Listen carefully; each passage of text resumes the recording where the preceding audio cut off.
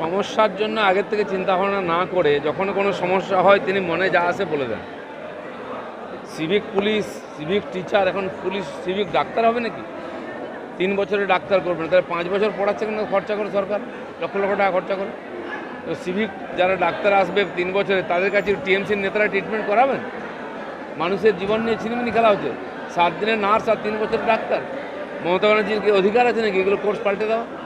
যে ইউক্রেন থেকে যে ছেলেমেয়েরা এসেছিল তাদের পড়ার কী ব্যবস্থা করেছেন? বলেছেন নাকি সমস্ত ছেলেমেয়েদের ডাক্তারি পাস করে দিন তারা কোথায় গেছে? তাদের ভবিষ্যৎ কী হলো? তাদের পাস করে ডাক্তারি দিন আপনি? বিদেশ থেকে পড়ে এলে তাদের তো ডাক্তারি করতে দিন সেটাও দিতে পারছেন না। আপনি আপনি গায়ের জোরে ডাক্তার পড়িয়ে দেবেন। গ্রামের মানুষের জীবনের কোনো মূল্য নেই। তাদেরকে সব দিক দিয়ে বঞ্চিত করেছেন। আর তারপরে আধার ডাক্তারের হাতে তুলে দেবেন দিয়ে তাদেরকে প্রাণের সংকট টেনে আসবেন দাদা কোর্টের নির্দেশ রয়েছে যে সিভিক পুলিশ দিয়ে ভোট করাতে পারবে না। সেই জন্যই কি এই তড়িঘড়ি নিয়োগ পুলিশের ব্যবস্থা করতে যাতে ভোটটা করাতে পারে? না যদি তাও হয় নিয়োগ তো হোক কেন হয়নি এতদিন? সিভিক পুলিশ তো পুলিশই নয় তারা তারা পার্টির ক্যাডার তাদেরকে আট আট দশ হাজার টাকা দিয়ে দাঁড় করে দেওয়া হয়েছে। তারা আইন শৃঙ্খলা রক্ষা করতে পারে না তারা ট্রাফিকও সামলাতে পারে না তারা পার্টির হয়ে কাজ করে তারা কি করে ভোট চালাতে পারে? দাদা আবার রাজ্য সরকারের গালে থাপ্পড় বাঁকুড়ার সিমলাপালে যে সভার কথা ছিল শুভেন্দু অধিকারী, সেই সভা করতে দিতে হবে। প্রয়োজনে সিআরপিএফ এর সভা করতে হবে।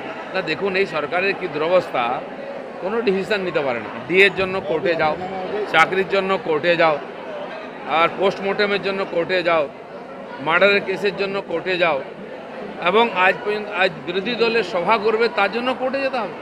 একটা সভার পারমিশন দিয়ে পুলিশ তার শান্তি শৃঙ্খলা রক্ষা করতে পারে না? নাকি আপনি আইন শৃঙ্খলা সংবিধান কোর্ট কাউকে মানবেন না। মানুষ আপনাকে জিতিয়ে দিয়েছে মানুষ যাতে শান্তিতে থাকতে পারে। সেটি আপনি করতে পারেন না সব জায়গায় রাজনীতি করবেন। আর এই করতে করতে পুরো পশ্চিমবাংলায় কলাপস হয়ে যাচ্ছে। দাদা দাদা পঞ্চায়েত ভোটে তফসিলিদের জন্য যে ছাত্রাবাস তৈরির কথা রাজ্য সরকার ঘোষণা করেছিল রাজ্যের বিভিন্ন প্রান্তে কেন্দ্র সরকার জওহর নবোদয় বিদ্যালয় বানাচ্ছে মডেল স্কুল বানাচ্ছে। বিভিন্ন জায়গায় পিছিয়ে থাকা সমাজ এসসি এসটি এলাকায় তাদের শিক্ষার জন্য। আর পশ্চিমবাংলার পুরো শিক্ষা ব্যবস্থা ডুবে গেছে। স্কুলই চলছে না তারপর হস্টেল পড়াশোনাই হচ্ছে না। ছেলেমেয়েরা থাকলে পড়বেটা কোথায়? খাওয়া দাওয়ার জন্য হস্টেলে থাকবে নাকি? আর খালি গিমিক ইলেকশন আগে ঘোষণা করে দেন তার কোনো বাস্তবে প্রয়োগ হয় না। দাদা পঞ্চায়েত ভোটের দিন ঘোষণা না হলেও ঘাটালের গ্রামে দেখা যাচ্ছে পোস্টারে ছয়লা যেখানে বাম এবং বিজেপির একটাই স্লোগান চোর তাড়াও গ্রাম বাঁচাও।